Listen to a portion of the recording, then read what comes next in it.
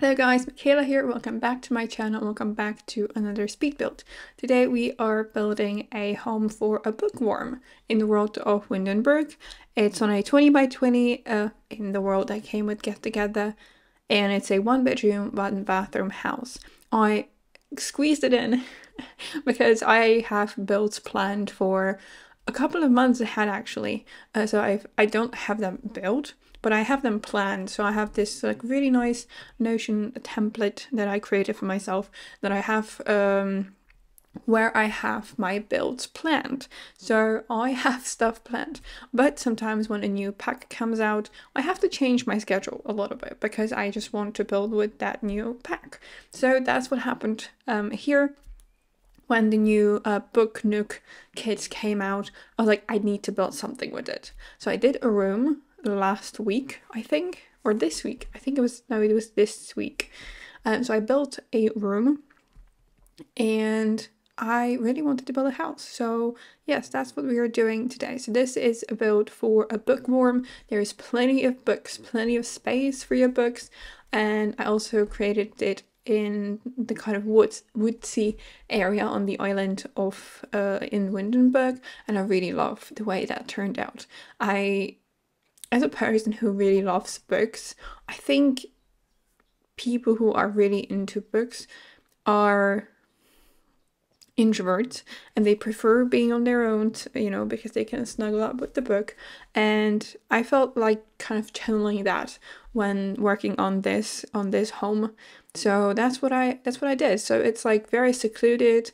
It's very private. There is plenty of seating space. There is like a lounge area. There is barbecue area. There um, is space for kind of hanging out. So there is space for people to come over. You can have two sims sleeping in this, so you don't have to have only one sim living here. And there's also a small pond that I'm gonna add later. So it's overall like a very kind of secluded, calm, um, space or like place and i really like that because i feel like as a person who reads as well i would love uh, to have a house like this just in the middle of nowhere um, but with good internet of course because i would need internet to upload my speed builds um, yeah i did mention it in my previous videos a little bit, usually at the end, but I'm getting really, really close to the 4,000 watch hour um, mark, so that means that I could be monetized, which is very exciting. I am also thinking about streaming sometimes, maybe. I definitely want to stream the shell challenges that I'm hosting. It's still going till I think I made it till 16th. It used it was supposed to be till 8 what 11th, but I'm going on a trip or like an excursion with the geography department next week.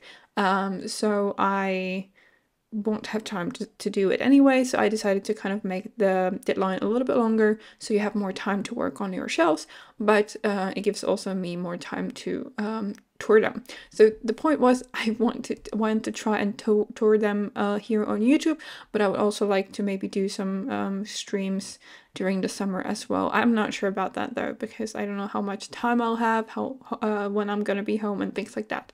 So we will see how that um, goes. I forgot to say the price uh, of this, so it comes in at 54,611 simoleons. So it's not exactly cheap, but it's also not that expensive, I feel like.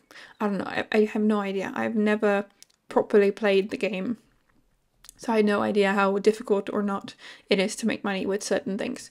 So apart from having uh, plenty of books in here, I also made a um like an art station outside. So i placed a an easel with like one of those decorations that looks like a, a, bo a box but like um storage for um like paint stuff or like drawing stuff things like that. So that's all outside. And i think there's also a computer at the table in the kitchen i believe and then you have a barbecue you have an outdoor oh i placed also yoga stuff because i was like heavily inspired by myself to be honest i don't read as much as i used to um i think university reading kind of um, killed my love for books a little bit. But I hope I'm gonna go uh, get back to that. Um, but I love yoga.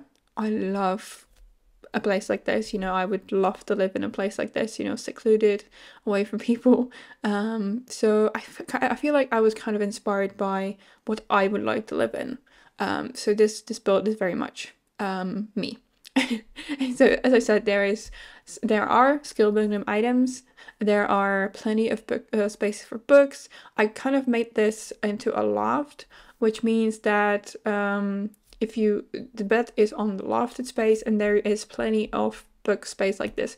I mean, technically it's not accessible because I did not include a ladder or anything, but in The Sims it doesn't really matter because you have bookcases that are accessible for your sims so that's all uh, you need to, to have really i made it uh, the interior very woodsy i used the wallpaper that came with the book nook kit and i paired it with a flooring from i believe um, cottage living. And that i think it looks really nicely and creates a very kind of serene like natural atmosphere and i really really like that. I paired that with like warm wood and like light wood and dark wood and with um kind of this greenish color that i took from the couches and the chairs because i uh, you know i like to do that. I kind of like to have one um color and that's like accent color in the home.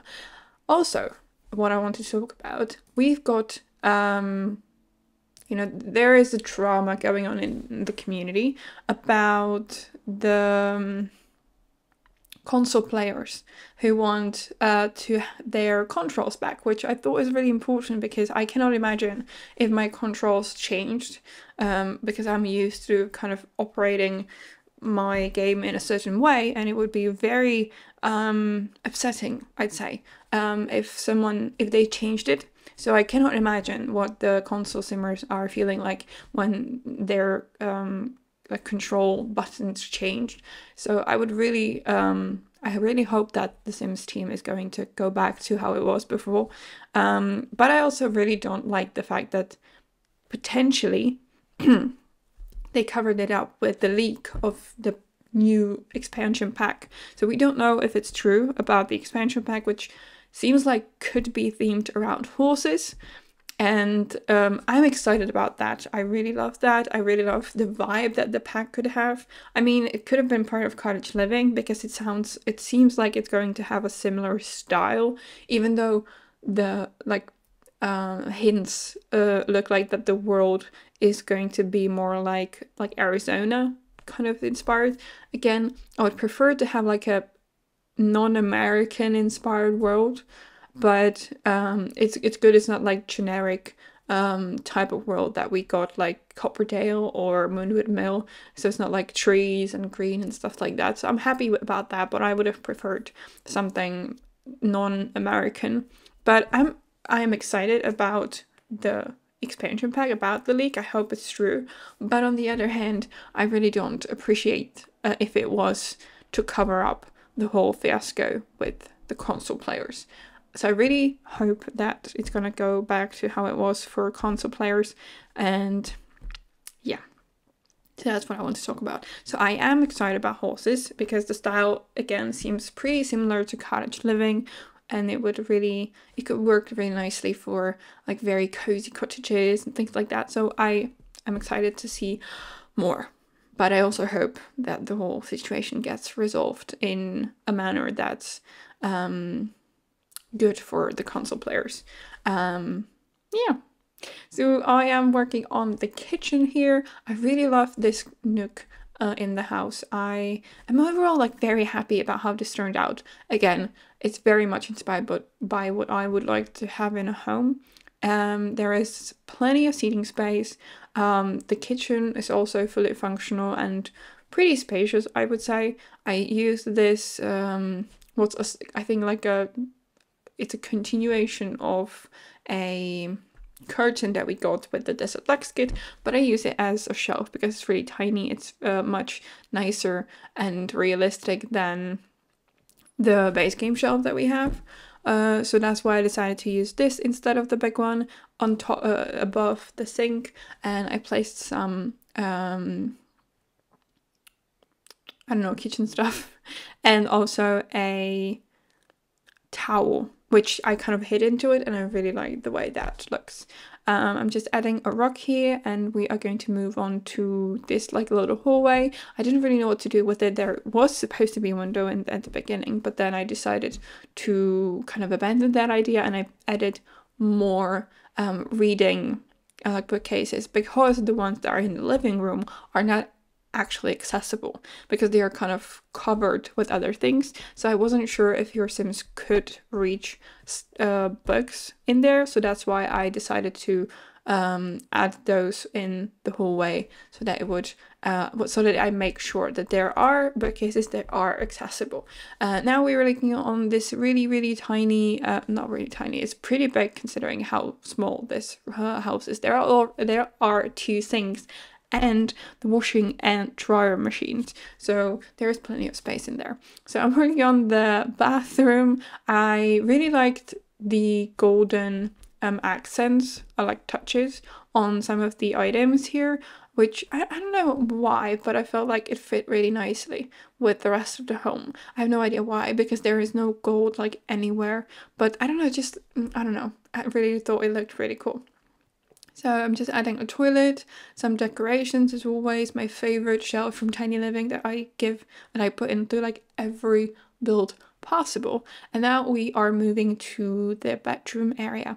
I think I ended up using a bed from Growing Together, which I've been obsessed with ever since that came uh, that, ever since that pack came out.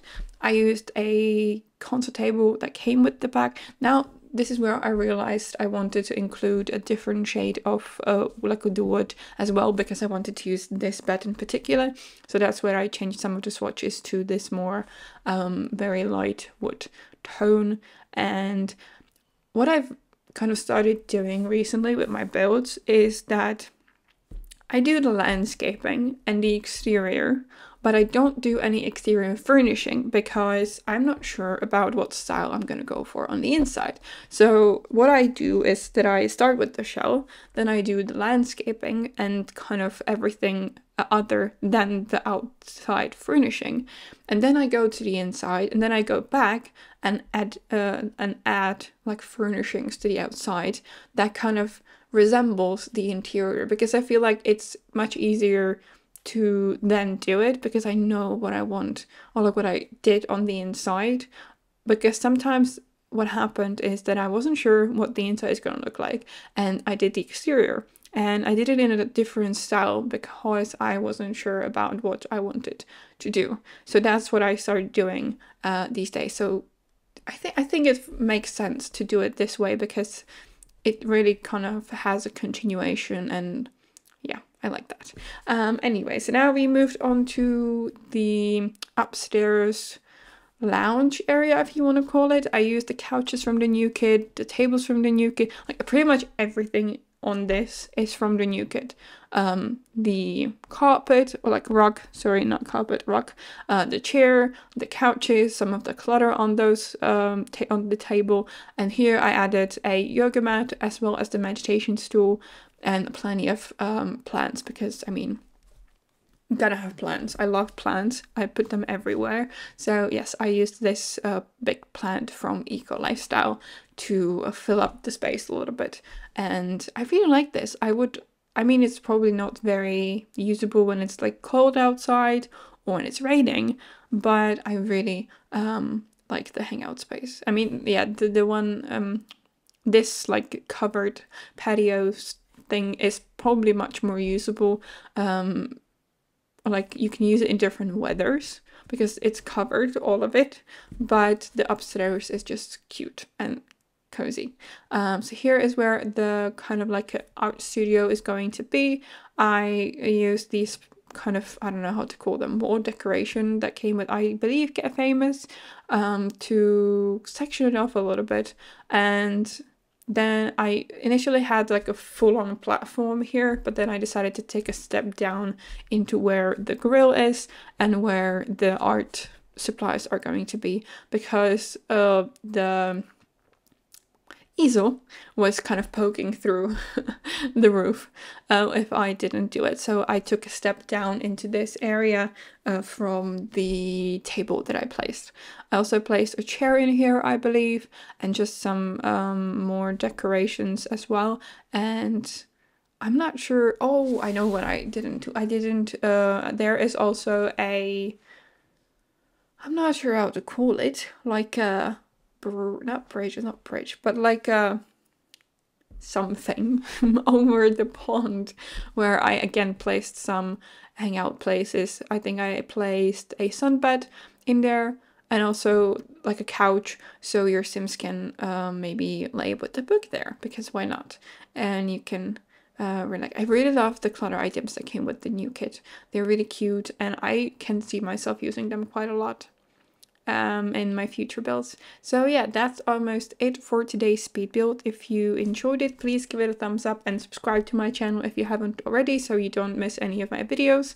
Um, if you want to download this build, you can get it on the gallery. My ID is Michaela Sims YT or you can get the tray files in the description box below as always on my Ko-fi page. I always make sure to upload my tray files there because I, I want people to have the option to choose if they want to use the gallery or if they want to uh, use the, the tray files um, as well. So yeah, thank you so much for stopping by. Thank you so much for spending time with me here on the video and I will see you in my next one. Bye. I've seen a lot of change, been through a lot of pain. Some things are not the same as they were a year ago But all will be okay I move on each and every day The past is where it stays Way back a year ago. I've changed for the better this time. I thought I would never be fine. I strive just to say I'm alright. And for the first time in a long time I'm alright seen a lot of change Been through a lot of pain. Some things are not the same As they were a year ago But all will be okay. I move on each and every day. The past is where it stays way back a year ago